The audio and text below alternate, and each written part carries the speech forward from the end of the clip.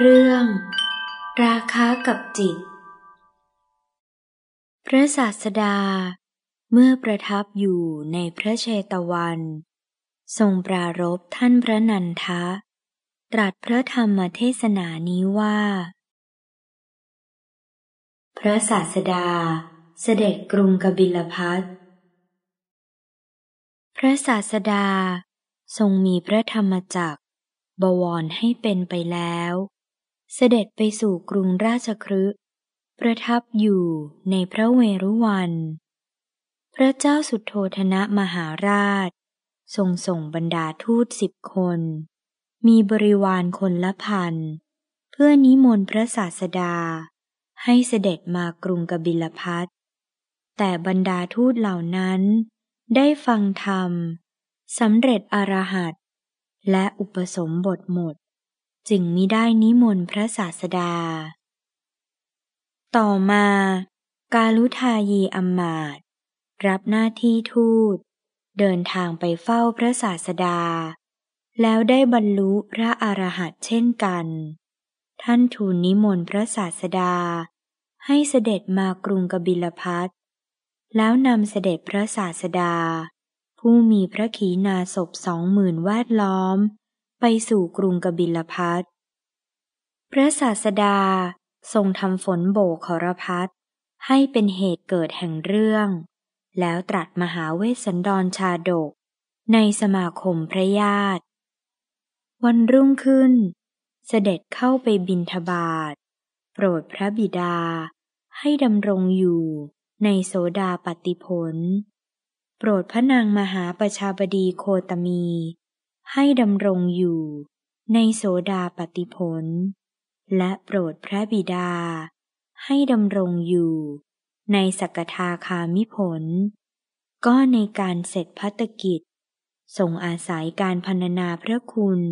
ของราหุลมารดา ตรัสจันทะกินนอนชาดก ในวันที่สามเป็นวันอภิเษกสมรสของนันทกุมาร กับนางชนบทกัลยาณี พระศาสดาเสด็จเข้าไปบินทบาท ประทานบาทในหัดของนันทกุมาร ตรัสมงคล แล้วเสด็จลุกจากอาสนะ หลีกไป พระศาสดามิได้ทรงรับบาทจากหัดของนันทกุมาร นันทพุทธอนุชาออกบวช ฝ่ายนันทกุมารนั้น ด้วยความเคารพในพระตถาคต จึงมิอาจทูลเตือนว่า ขอพระองค์รับบาตรไปเถิดพระพุทธเจ้าข้าแต่คิดอย่างนี้ว่า พระศาสดาคงจักทรงรับบาตรที่หัวบันได แม้ในที่นั้น พระศาสดาก็มิได้ทรงรับ นันทกุมารก็คิดว่า คงจักทรงรับที่ริมเชิงบันได แม้ในที่นั้น พระศาสดาก็ไม่ทรงรับ นันทกุมารคิดอีกว่า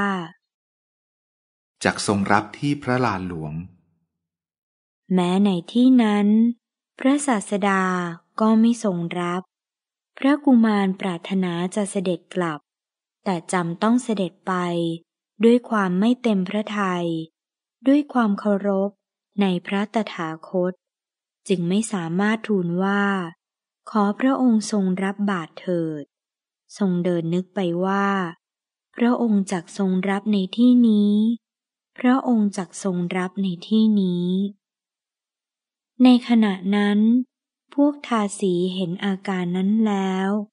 จึงบอกแก่นางชนบทกัลยาณีว่า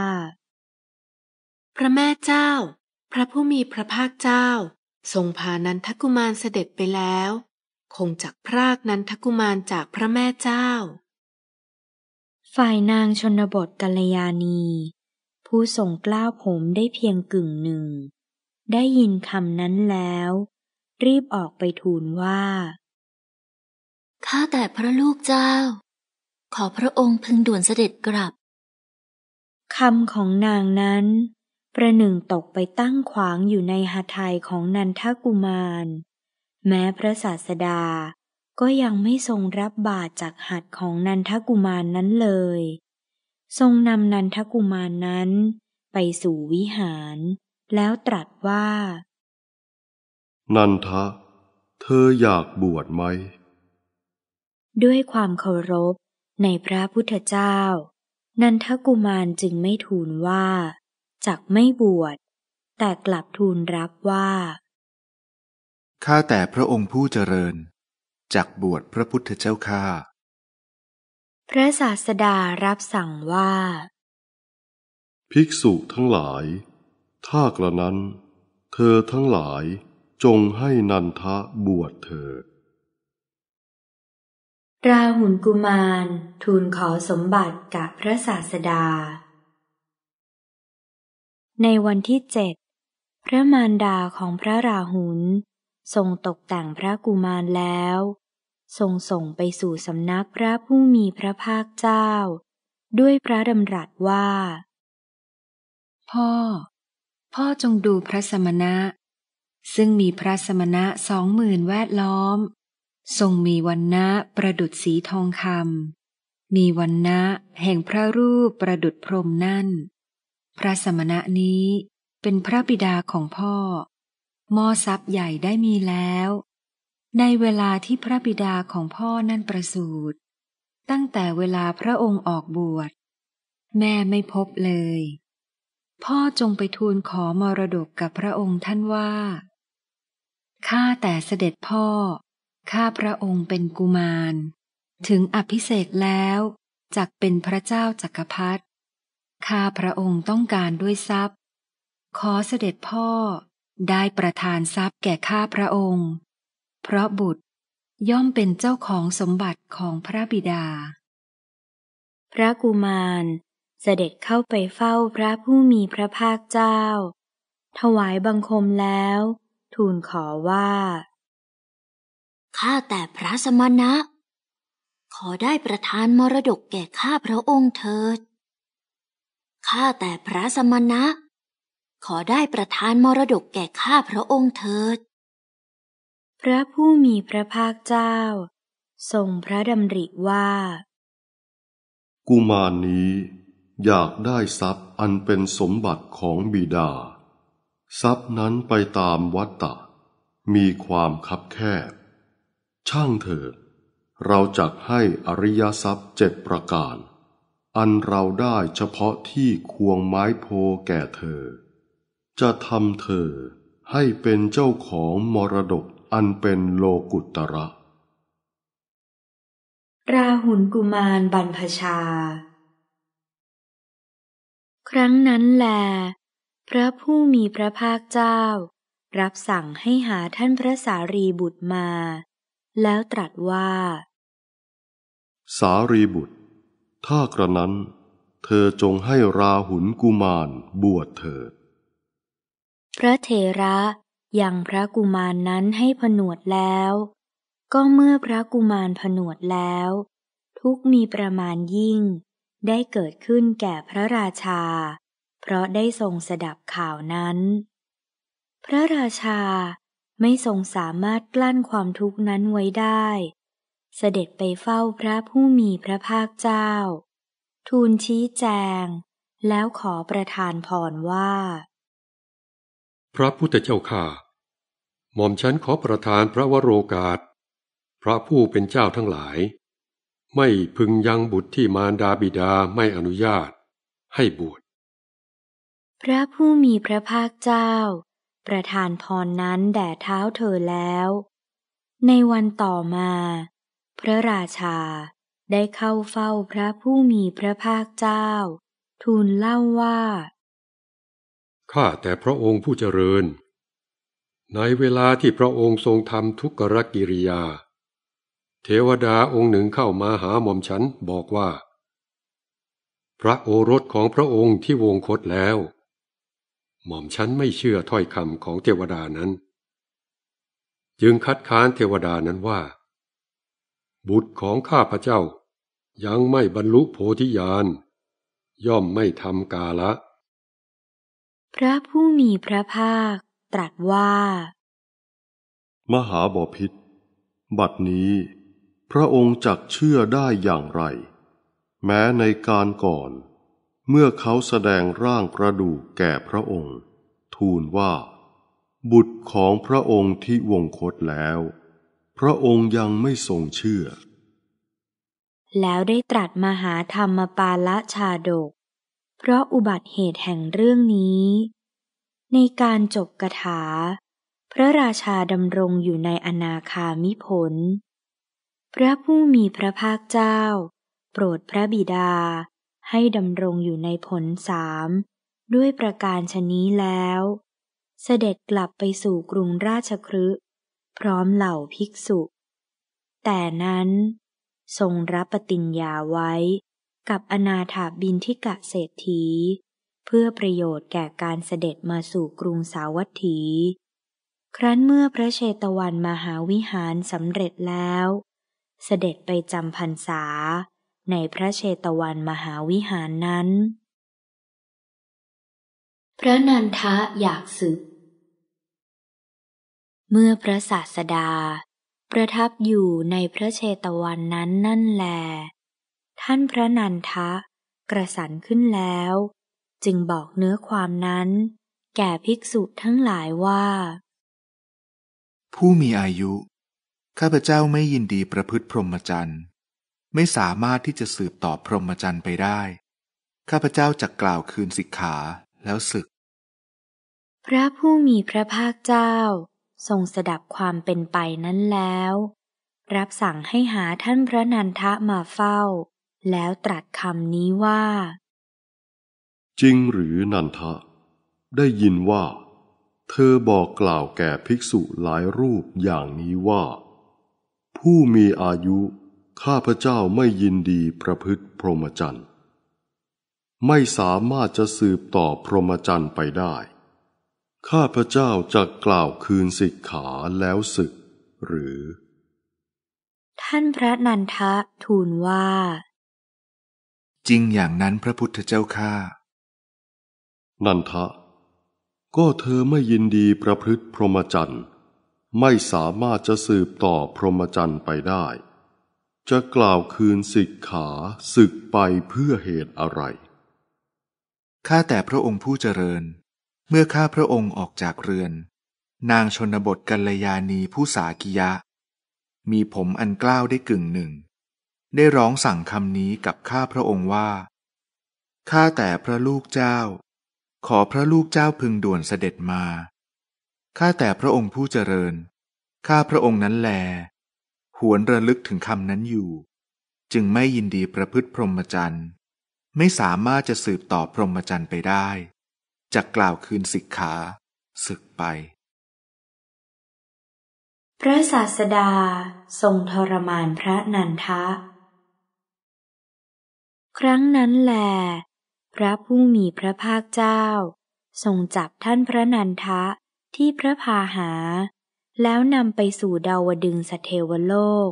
ด้วยกำลังพระฤทธิ์ในระหว่างทาง ทรงแสดงนางลิงรุ่นตัวหนึ่ง ซึ่งมีหู จมูก และหางขาด นั่งเจ้าอยู่บนปลายตอไม้ที่ไฟไหม้ ในนาที่ไฟไหม้แห่งหนึ่ง แล้วทรงแสดงนางอับสรห้าร้อยซึ่งมีเท้าดั่งเท้านกพิราบ ผู้มาสู่ที่บำรุงของเท้าสักกะเทวราช ในภพดาวดึง ก็แลครั้นทรงแสดงแล้ว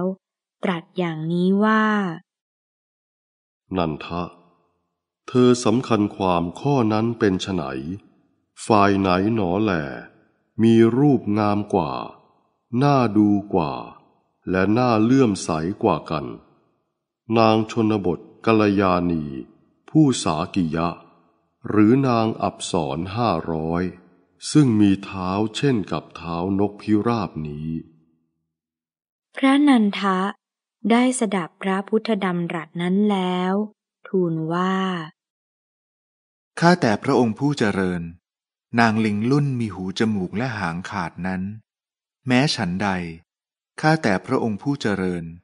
นางชนบทกัลยาณีผู้สากิยะ ก็เหมือนกันฉันนั้น เพราะการเปรียบเทียบกัน นางย่อมไม่ถึงการนับบ้าง ไม่ถึงเสี้ยวหนึ่งบ้าง ไม่ถึงส่วนหนึ่งบ้าง แห่งนางอับสรห้าร้อยนี้ ที่แท้นางอับสรห้าร้อยนี้แล มีรูปงามกว่า น่าดูกว่า และน่าเลื่อมใสกว่า นันทะ เธอจงยินดี นันทะ เธอจงยินดี เราจะเป็นผู้ประกันของเธอ เพื่อการได้นางอับสรห้าร้อยซึ่งมีเท้าดุดเท้านกพิราบ ข้าแต่พระองค์ผู้เจริญ ถ้าพระผู้มีพระภาคเจ้า เป็นประกันของข้าพระองค์ เพื่อการได้นางอับสรห้าร้อยผู้มีเท้าดุดเท้านกพิราบไซข้าแต่พระองค์ผู้เจริญ ข้าพระองค์จักยินดีในพรหมจรรย์ ครั้งนั้นแหลพระผู้มีพระภาคเจ้า ทรงพาท่านพระนันทะไป หายวับไปในที่นั้น ได้ปรากฏในพระเชตวันดังเดิม ภิกษุทั้งหลาย ได้สดับเรื่องราวแล้ว กล่าวกันว่า ข่าวว่า ท่านนันทะเป็นพระพาดาของพระผู้มีพระภาคเจ้า โอรสพระนานาง ประพฤติพรหมจรรย์เพราะเหตุแห่งนางอับสรทั้งหลาย ในว่า พระผู้มีพระภาคเจ้าทรงเป็นผู้ประกันของพระนันทะนั้น เพื่อการได้นางอับสรห้าร้อยผู้มีเท้าดุดเท้านกพิราบ พระนันทะสำเร็จอรหัตผล ครั้งนั้นแหลพวกภิกษุผู้สหายของท่านพระนันทะ เรียกท่านพระนันทะ ด้วยวาทะว่า คนรับจ้างบ้าง ด้วยวาทะว่า คนอันพระผู้มีพระภาคเจ้าทรงไถ่ไว้บ้างว่า ในว่า ท่านพระนันทะเป็นคนรับจ้าง ในว่า ท่านพระนันทะเป็นผู้อันพระศาสดาทรงไถ่ไว้ พระนันทะประพฤติพรหมจรรย์เพราะเหตุแห่งนางอับสรห้าร้อยได้ยินว่า พระผู้มีพระภาคเจ้าทรงเป็นผู้ประกันของเธอ เพื่อการได้นางอับสรห้าร้อย ผู้มีเท้าดุดเท้านกพิราบ ครั้งนั้นแหลท่านพระนันทะ ขวยเขิน ละอาย รังเกียจด้วยวาทะว่าคนรับจ้างบ้าง ด้วยวาทะว่าคนที่พระศาสดาทรงถ่ายไว้บ้าง ของเหล่าภิกษุสหาย จึงหลีกออกจากหมู่ อยู่ผู้เดียว ไม่ประมาท มีความเพียร มีตนส่งไปอยู่ ต่อการไม่นานเลย ได้ทำให้แจ้ง ซึ่งที่สุดพรหมจรรย์อันยอดเยี่ยม ซึ่งกุลบุตรทั้งหลาย ออกจากเรือนบวชไม่มีเรือน โดยชอบต้องการ ด้วยความรู้ยิ่งเองสำเร็จแล้วอยู่ในทิฏฐธรรม รู้ชัดว่า ชาติสิ้นแล้ว พรหมจรรย์อยู่จบแล้ว กิจจำต้องทำทำเสร็จแล้ว กิจอื่นอีกเพื่อความเป็นอย่างนี้ ไม่มี เป็นอันว่า ท่านพระนันทะได้เป็นพระอรหันต์องค์ใดองค์หนึ่ง ในบรรดาพระอรหันต์ทั้งหลาย ครั้งนั้น เทวดาองค์หนึ่งยังพระเชตวันทั้งสิ้นให้สว่าง ในส่วนแห่งราตรีแล้ว เข้าไปเฝ้าพระศาสดา ถวายบังคมแล้ว กราบทูลว่า ข้าแต่พระองค์ผู้เจริญ ท่านพระนันทะ เป็นพระพาดาของพระผู้มีพระภาคเจ้า โอรสพนานางทำให้แจ้ง ซึ่งเจโตวิมุตติปัญญาวิมุตติอันหาอาสวะมิได้ เพราะความสิ้นไปแห่งอาสวะทั้งหลาย ด้วยความรู้ยิ่งเองสำเร็จแล้วอยู่ในทิฏฐธรรมยานได้เกิดขึ้น แม้แก่พระผู้มีพระภาคเจ้า เหมือนกันว่า นันทะทำให้แจ้งซึ่งเจโตวิมุตติ ปัญญาวิมุตติ อันหาอาสวะมิได้ เพราะความสิ้นไปแห่งอาสวะทั้งหลาย ด้วยความรู้ยิ่งเองสำเร็จแล้ว อยู่ในทิฏฐธรรม โดยล่วงไปแห่งราตรีนั้น ท่านพระนันทะ เข้าไปเฝ้าพระผู้มีพระภาคเจ้า ถวายบังคมแล้ว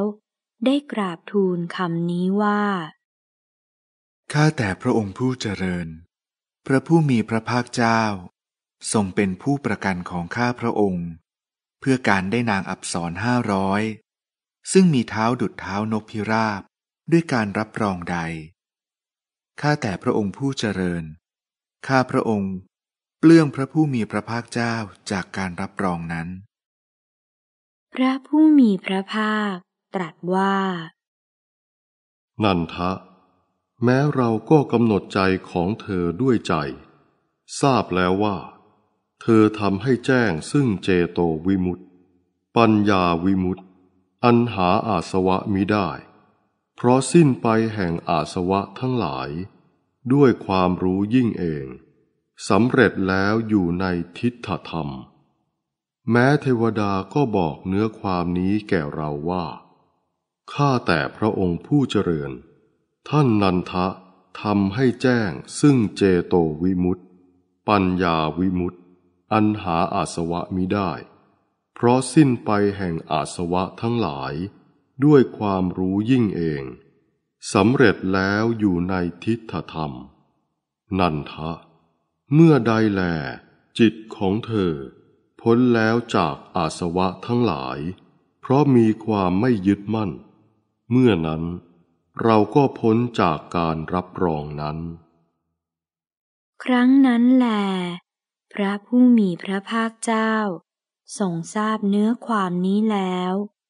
ทรงเปล่งอุทานนี้ ในเวลานั้นว่า เปลือกตม คือ กามอันผู้ใดข้ามได้แล้ว หนาม คือ กามอันผู้ใดย่ำยีได้แล้ว ผู้นั้นบรรลุความสิ้นไปแห่งโมหะ ย่อมไม่หวั่นไหวในเพราะสุขและทุกข์ พระนันทะถูกฟ้อง ต่อมาวันหนึ่ง ภิกษุทั้งหลาย ถามท่านพระนันทะว่า นันทะผู้มีอายุ เมื่อก่อน ท่านกล่าวว่า ข้าพเจ้าเป็นผู้กระสันแล้ว บัดนี้จิตของท่านเป็นอย่างไร พระนันทะ ตอบว่า ผู้มีอายุ ความห่วงใยในความเป็นคฤหัสถ์ของเราไม่มี พวกภิกษุได้ฟังคำนั้นแล้ว กล่าวกันว่า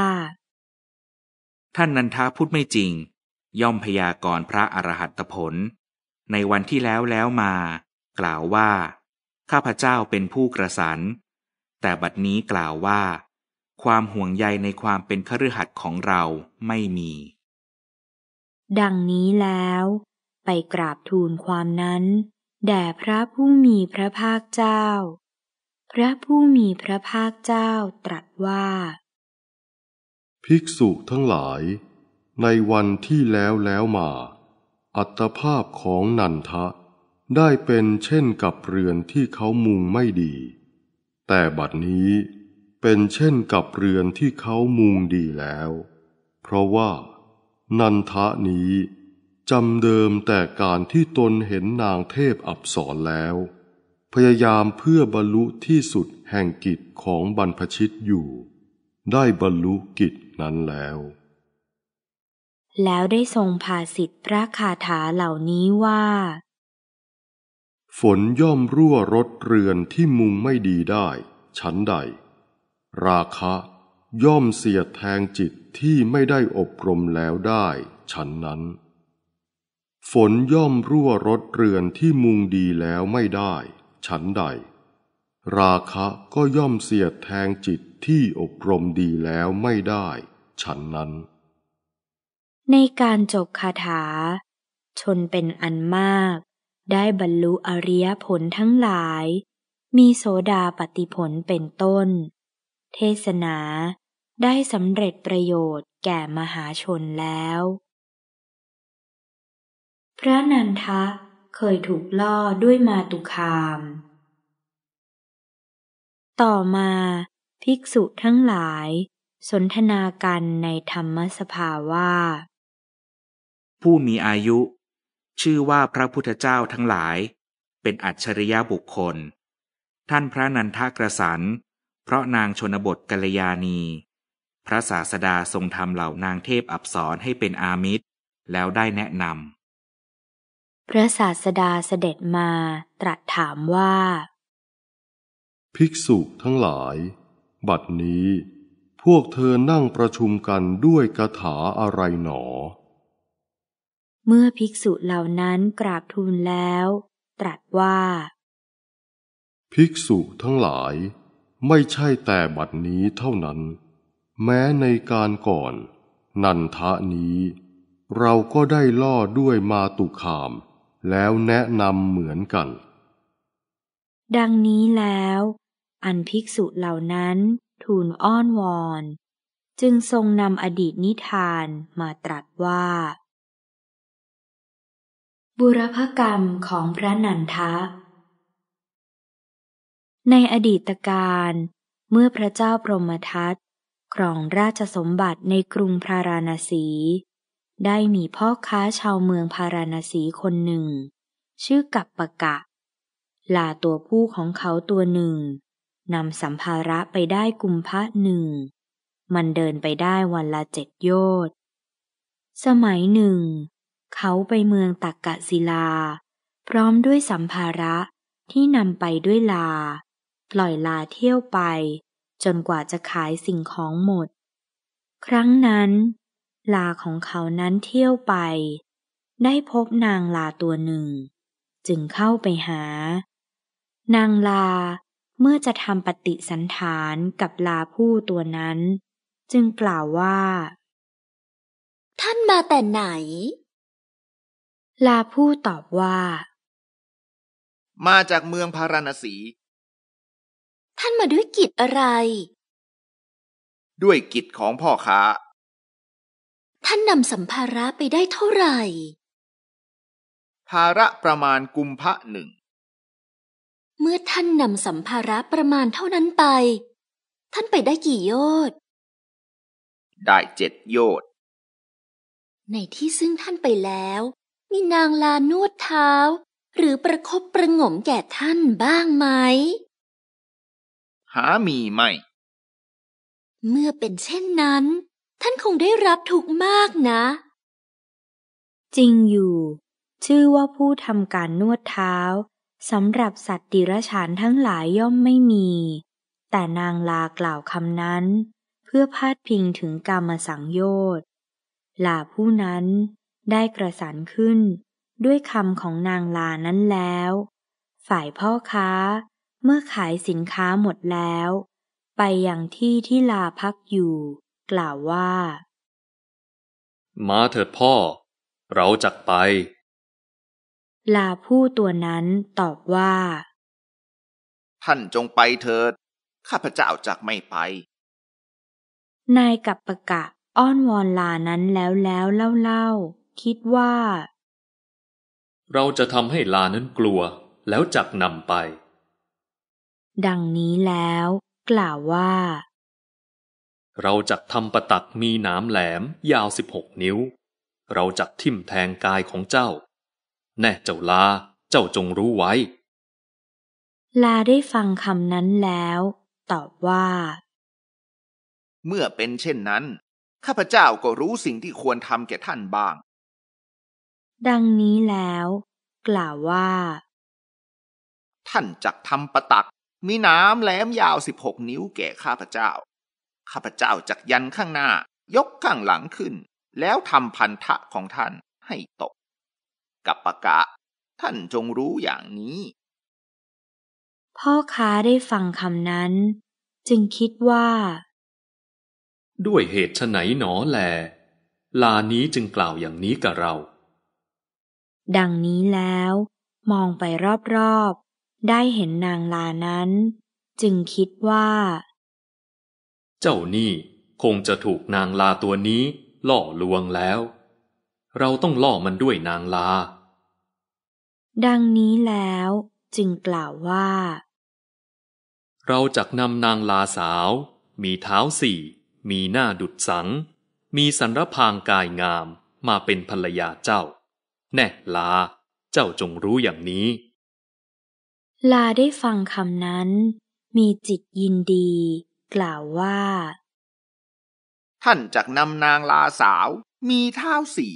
มีหน้าดุดสัง มีสันรพางกายงาม มาเป็นพันยาข้าพเจ้า ข้าแต่กับปะกะ ท่านจงรู้อย่างนี้ ข้าพเจ้าจักไปให้เร็วขึ้นถึงสิบสี่โยชน์ทีนั้น นายกัปปะกะจึงกล่าวกับลานั้นว่า ถ้ากระนั้น เจ้าจงมาเถิด ดังนี้แล้ว ได้จูงไปสู่ที่ของตน ล่วงไปสองสามวัน ลานั้นกล่าวกับนายกัปปะกะว่า ท่านได้พูดกับข้าพเจ้าว่าจักนำพัญญามาให้ข้า ดังนี้ไม่ใช่หรือ นายกัปปะกะตอบว่า เออ เรากล่าวแล้ว เราจะไม่ทำลายถ้อยคำของตน จักนำภรรยามาให้เจ้า แต่เราจะให้อาหารแก่เจ้าตัวเดียว อาหารนั้นจะเพียงพอแก่เจ้าตัวเดียว เจ้าพึงรู้ตัวเองเถอะ แล้วถ้าเจ้ามีลูก อาหารนั้นจะเพียงพอแก่เจ้ากับลูกหรือไม่ เจ้าพึงรู้เองเถอะ เมื่อนายกับปปะกะนั้น กล่าวอยู่เช่นนั้นลานั้นได้หมดหวัง พระศาสดา ครั้นทรงนำพระธรรมเทศนานี้มาแล้ว ทรงยังชาดกให้จบลง ด้วยพระดำรัสว่า ภิกษุทั้งหลาย นางลาในคราวนั้น ได้เป็นนางชนบทกัลยาณี ลาผู้ได้เป็นนันทะ พ่อค้าได้เป็นเราเอง แม้ในการก่อน